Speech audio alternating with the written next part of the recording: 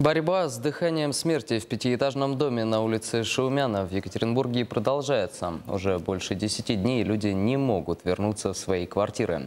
Пострадавшие обращаются за помощью во всевозможные инстан- инстанции. О первых результатах Полина Гладких.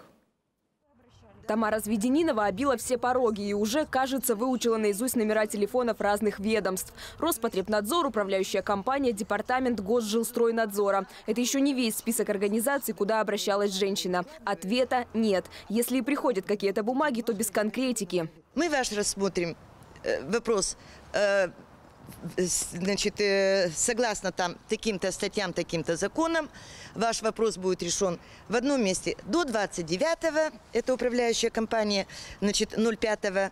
Э, Другие, значит, говорят, что мы ваш вопрос рассмотрим до середины июня уже, третий вообще никаких сроков не ставят, замкнутый круг. За последние 10 дней у Тамары Зведениновой скопилась целая папка различных бумаг. Среди них и предписание от управляющей компании, по которому жильцам пострадавших квартир надлежит самостоятельно проводить дезинфекцию помещений. Я говорю, а чем? Ну, хлорочкой будете посыпать, там еще какими-нибудь средствами. Обращение оставили и на сайте прокуратуры. Через госуслуги записались в ведомство на личный прием. Разговор состоялся по домофону. Специалист пообещал поискать заявление. До сегодняшнего дня ни звонка, ни письма так и не было. Тем временем трупный запах, говорит Тамара Зведенинова, не уходит, а только усиливается.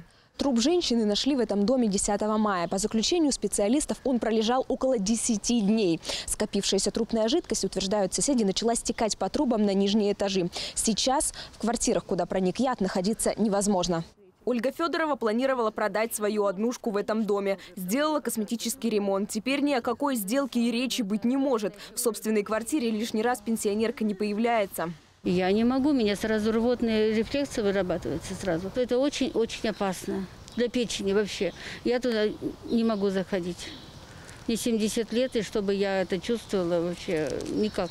Ни в коем случае нельзя. Еще вчера у женщин опускались руки, а сегодня, кажется, появилась надежда на реальную помощь. Накануне журналисты ОТВ написали письмо региональному омбудсмену Татьяне Мерзляковой. Она заинтересовалась ситуацией и уже связалась с мэрией и управляющей компанией.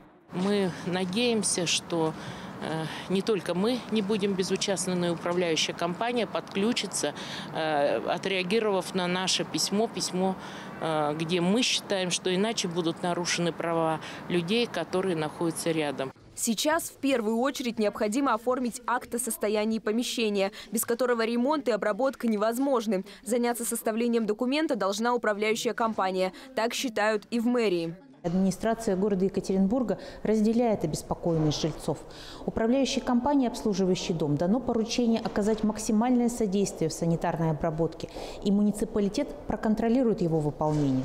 Областное телевидение обратилось в управляющую компанию с официальным запросом. Пока комментариев получить не удалось, а значит у этой истории финал остается открытым. Полина Гладких, Марка Керман, Алексей Голицын и Иван Мякишев. События ОТВ.